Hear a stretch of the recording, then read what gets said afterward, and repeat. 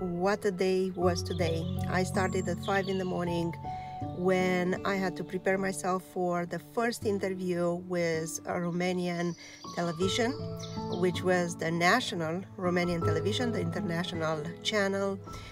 The interview was about how important is for premenopausal female and menopausal female to understand that prevention uh, for different cancers is so important, especially if you suffer from an autoimmune disease or if you suffer from chronic inflammatory diseases. I have to applaud the action of um, the Romanian Foundation called Renașterea. It is an amazing project to help female to understand the role of prevention in um, different types of cancer, different types of cancers.